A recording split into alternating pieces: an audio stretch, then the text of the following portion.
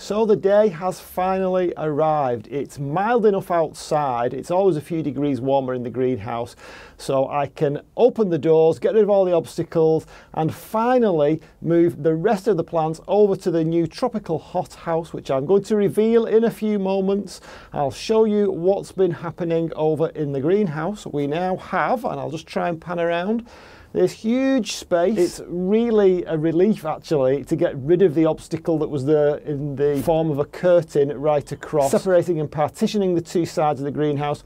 So it's great now to have this great big open space. So what I'll do, I will just flip you around on the camera and show you what's been going on and then take you around to the new hothouse and show you the situation over there. Okay, so as we come in through the double doors here, we've now got this huge space. Now it does look quite different, I think you'll agree, without the curtain there. And what I've done here, I've just zoomed back a little bit so you can take in a little bit more of the greenhouse. I'm gonna leave those walls up there. I think they look great.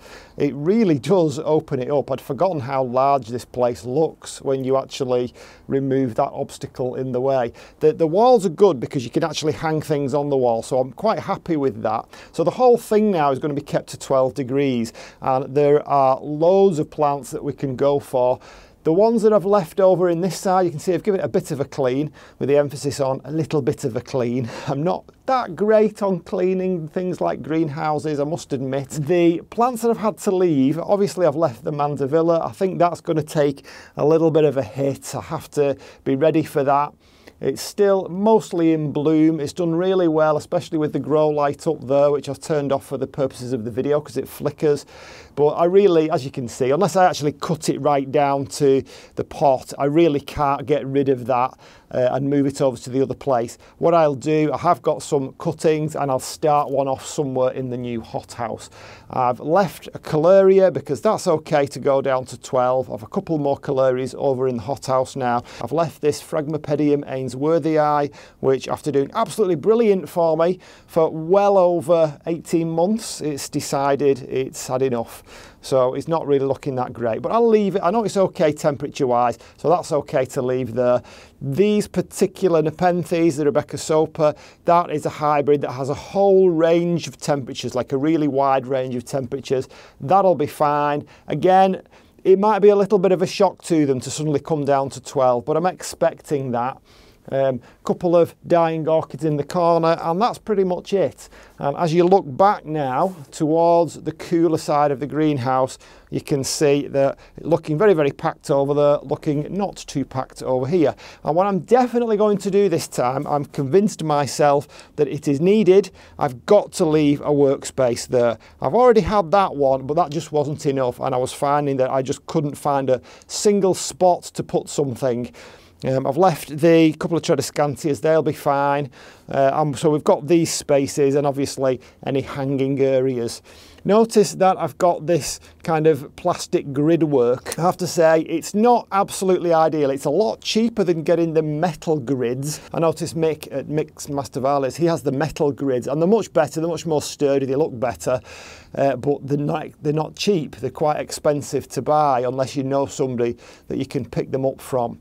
So I don't know, I've not decided what to do about that over in the hothouse. So I think what we should do is go and have a look over in the hothouse and reveal all and see what it looks like now.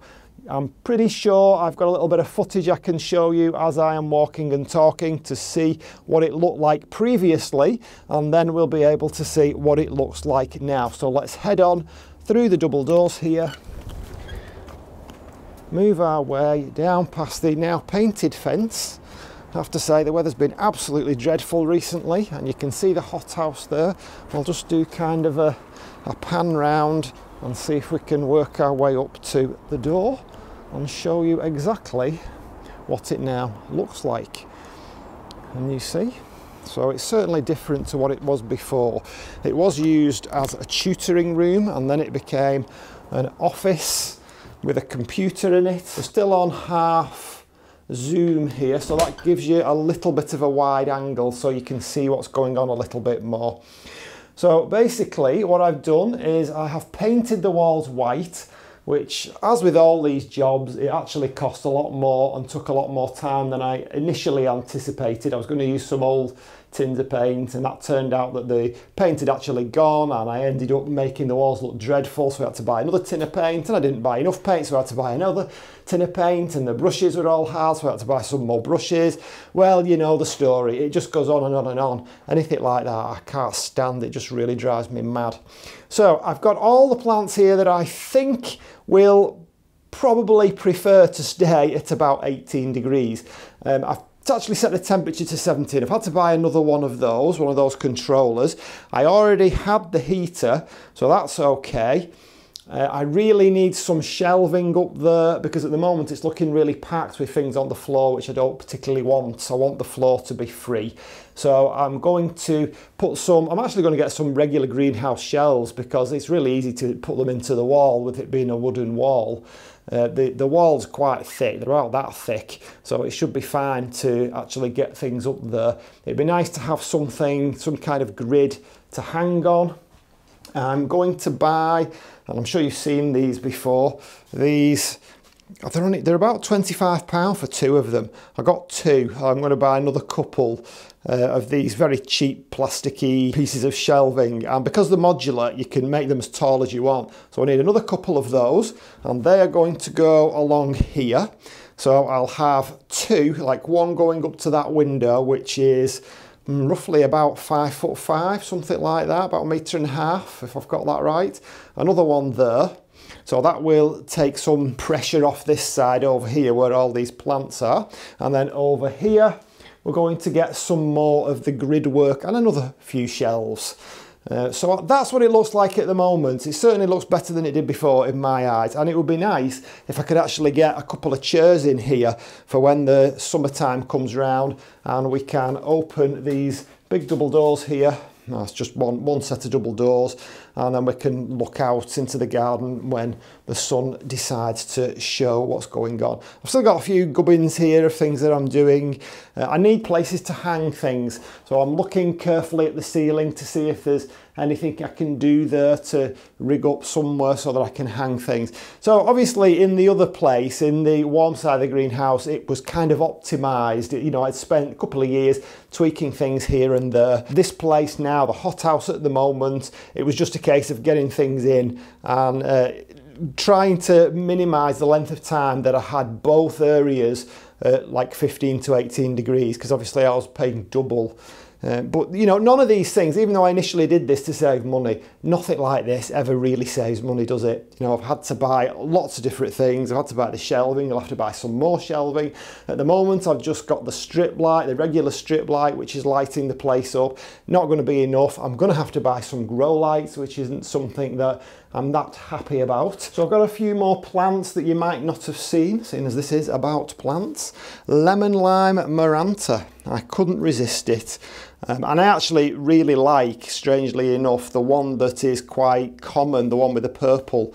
Um, it, it just shows you, doesn't it, that if something is a little bit rarer, a little bit more expensive, then you tend to go for that, even though like initially I thought the purple one was a nicer one, and then I convinced myself that I like this one better, probably because it was more expensive. I've got an Anthurium crystallinum, I think that's how you pronounce it.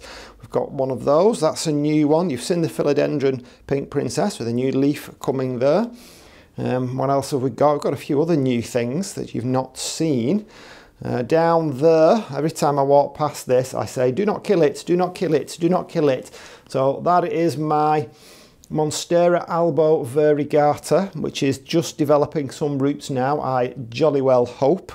And we've got the other Monstera albo variegata the Smar gave me, Fiona gave me that one, Smar gave me this one. I know it doesn't look that great, but it had loads of roots on it and it's just popped up with a new leaf there, so it can't be that miserable. I've had to bring the propagator in and we've got some new seeds there just popping up. So they are my mandevilla seeds and there's my mandevilla cuttings. So we'll have to see if we can get a mandevilla set up in here seeing as it looks so great. I've got another new philodendron here. So this one is verrucosum looking really nice there. I'm really getting into these things. I think I'm probably a few years behind the times in terms of the fashion for house plants, but you know, you get what you like, don't you? Who cares? There's a spike coming on my columnia, a first spike, and it's a shame really because I've just had to move it, and you know what happens when you move plants somewhere new. So let's just hope that it's a, an improvement for them to come in here. But they're not going to stay there. These things have to be moved about and I'll really know where we are with things when I get the shelves up, when I get the, the grid mesh thing up and when I get some more hanging space up and of course the grow lights. It's all money, isn't it? It's all money. Really pleased to see that this Connie Boswell has finally decided to come back. It just doesn't like the lower temperatures. You know, just a couple of degrees and it's not happy. So I'm really chuffed about that because that one struggled for such a long time. And same with the Begonia F. mazae. Begonia mazae F. nigricans, that's also beginning to come back with these gorgeous, very, very black velvety leaves. So you can see the difference between the new leaves and the ones that are going to fall off. So yeah, that's, that's really nice. I'm very happy about that. So I'm not really going to do a plant tour. I just wanted to show you what it looked like, how it's changed and reveal the new space to you. So I am going to make lots more space to hang things, lots more space to put things. And this really is going to be a little tropical paradise hot house. And just before we go, I know it's only a foul, but it's a lovely little foul, isn't it? I'd just like you to comment in the comments section is there anything I've missed? Can you think of anything? Do you like the way it's gone? Have you got any ideas in terms of grids, mesh, hanging things, uh, anything like that? Tell me what you think of it so far. Don't put rubbish as an answer. and for now, I'll see you on the next one. Bye.